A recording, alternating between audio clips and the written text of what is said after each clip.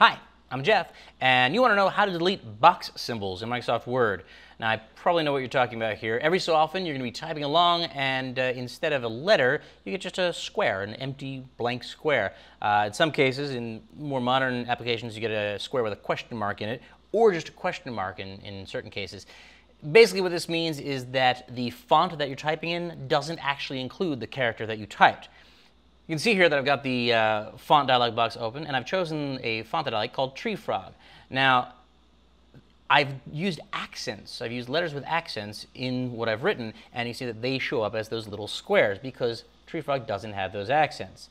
It's okay uh, because in most cases, in most modern applications like Microsoft Word, uh, you're going to see that it will replace those with the same character, the character you want, in a different font. You can see here that it's put it into Times New Roman. Basic font, so I still have those characters with the accents, they're just not in the right font.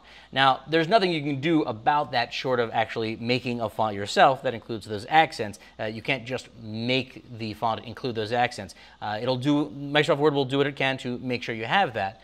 Uh, on the other hand, if you're seeing boxes, there's also another possibility. It's that the encoding, the kind of data that you're opening, is not what Microsoft Word is expecting.